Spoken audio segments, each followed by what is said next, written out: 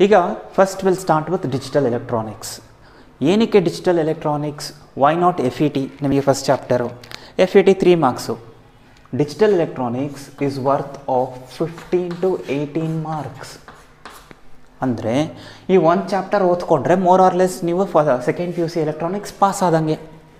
ಅಲ್ವಾ?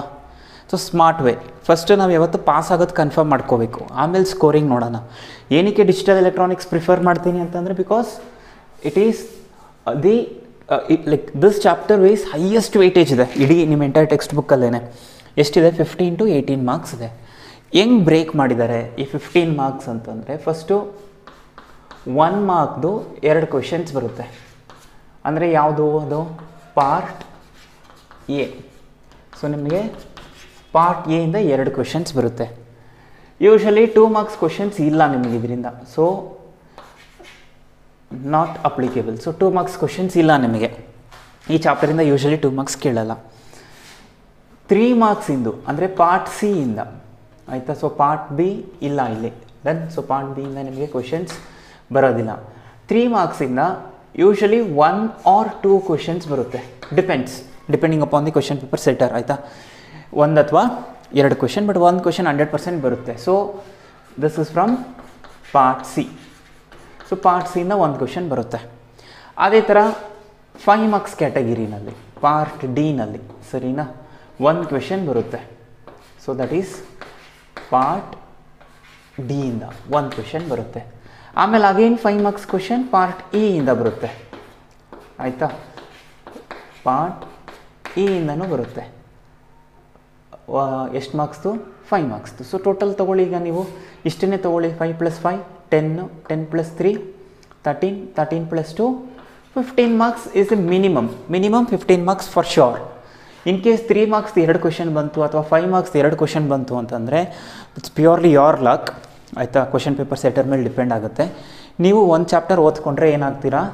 Second P U C electronics pass ಇನ್ನೇನಕ್ಕೆ ಮಿಕ್ಕಿ ಚಾಪ್ಟರ್ಲ್ಲ ಓದಬೇಕು? ಕರೆಕ್ಟ್ ಅಲ್ವಾ?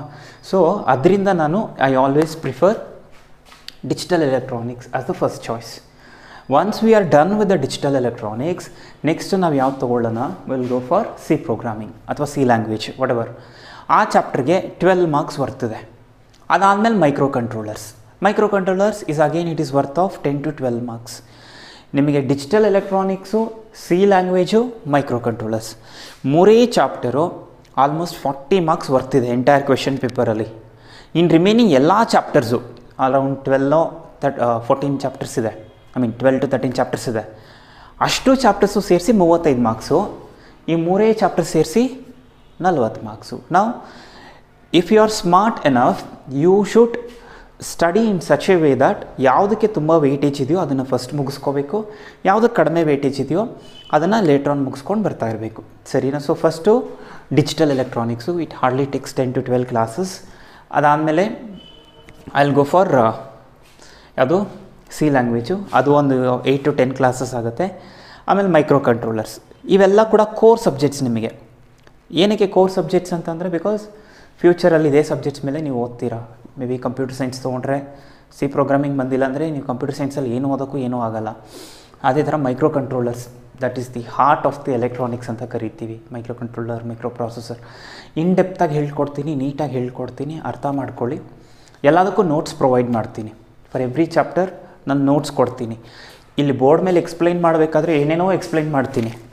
ಅವೆಲ್ಲ ನಿಮಗೆ just for knowledge ಪರ್ಪಸ್ಗೆ but examination point of view ಇಂದ ನಾನು ಏನು ನೋಟ್ಸ್ ಕೊಡ್ತೀನೋ ದಟ್ಸ್ ಮೋರ್ ದ್ಯಾನ್ ಎನಫ್ ಈ digital ಎಲೆಕ್ಟ್ರಾನಿಕ್ಸಲ್ಲಿ up to binary codes running notes ಬರ್ಕೊಳ್ಳಿ. ಅಪ್ ಟು ಬೈನರಿ ಕೋಡ್ಸ್ ಮುಂದೆ ಮಾಡ್ತೀನಿ, ಆಯಿತಾ? ಇವತ್ತಿನ ಕ್ಲಾಸು ಮತ್ತು ನಾಳೆ ಕ್ಲಾಸು ಈ ಎರಡೂ ಕ್ಲಾಸು ನೋಟ್ಸ್ ರನ್ನಿಂಗ್ ನೋಟ್ಸಲ್ಲಿ ಬರ್ಕೊಳ್ಳಿ. ಯಾಕಂದ್ರೆ ನನ್ನ ಹತ್ರ ಇಲ್ಲ. ಅದಾದಮೇಲೆ ಮಿಕ್ಕಿದ್ದು ಎಲ್ಲದನ್ನು ಕೂಡ ನಿಮಗೆ ನೋಟ್ಸ್ ನಾನು ಸೆಂಡ್ ಮಾಡ್ತೀನಿ. ಅದನ್ನು ನೋಡ್ಕೊಂಡು ಕಾಪಿನಾದರೂ ಮಾಡ್ಕೊಳ್ಳಿ ಅಥವಾ ಜಸ್ಟ್ ಜೆರಾಕ್ಸ್ ತೊಗೊಂಡು ಅದರಲ್ಲಾದರೂ ಓದ್ಕೊಳ್ಳಿ ಒಂದು. ಸೆಕೆಂಡ್ ಥಿಂಗ್ ಏನು ಅಂತಂದರೆ ಅಲ್ಲಿ give you certain assignment questions every chapter ಪ್ರತಿಯೊಂದು ಚಾಪ್ಟರ್ಗೂ ಅಸೈನ್ಮೆಂಟ್ ಕ್ವೆಶನ್ಸ್ ಕೊಡ್ತೀನಿ ಸಿಮಿಲರ್ ಟು ಮ್ಯಾಥಮೆಟಿಕ್ಸ್ ಆ ಅಸೈನ್ಮೆಂಟ್ ಕ್ವೆಶನ್ಸ್ನ ಒಂದು ಕಡೆ ನೀಟಾಗಿ ಬರ್ಕೊಂಡು ಓದ್ಕೊಳ್ಳಿ. Enough usually class work is more than enough but assignment questions ಏನು ಮಾಡುತ್ತೆ ಅಂದರೆ they are like those questions which are repeated in the past examinations ಅದನ್ನು ನೀವು ನೋಡ್ಕೊಂಡಾಗ ಏನಾಗುತ್ತೆ ನಿಮಗೆ? ಒಂದು ಕಾನ್ಫಿಡೆನ್ಸ್ ಬಿಲ್ಡ್ ಆಗ್ತಾ ಹೋಗುತ್ತೆ. ಇಲ್ಲ ಅಂತಂದರೆ ನಿಮ್ಮ ಟೆಕ್ಸ್ಟ್ ಬುಕ್ ಹಿಂದೆ ಒಂದೊಂದು ಚಾಪ್ಟರ್ಗೂ ನೂರಿಂದ ನೂರೈವತ್ತು ಕ್ವಶನ್ಸ್ ಕೊಟ್ಟವ್ರೆ. ಯಾಕೆ ಬೇಕು ಅಷ್ಟೊಂದು? ಅಷ್ಟೊಂದು ಓದೋಕ್ಕಾದರೂ ಆಗುತ್ತಾ?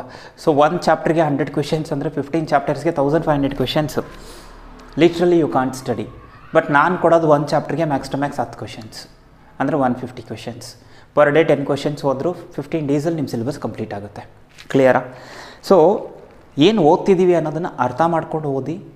ಅದಾದಮೇಲೆ ಯಾವತ್ತಿಂದ ಅವತ್ತೇ ಮುಗಿಸ್ಕೊಳ್ಳಿ ಬಿಕಾಸ್ ನಿಮಗೆ ಈ ಸರ್ಕ್ಯೂಟ್ಸ್ ಎಲ್ಲ ಸ್ವಲ್ಪ ಕನ್ಫ್ಯೂಸಿಂಗ್ ಆಗಿರುತ್ತೆ. ಅದರಿಂದ the more you practice the more perfect you will be and understand the logic behind whatever am trying to explain ಸರಿನಾ? ಸಾಲ್ ಫಾರ್ ನಾವು we will meet in the next class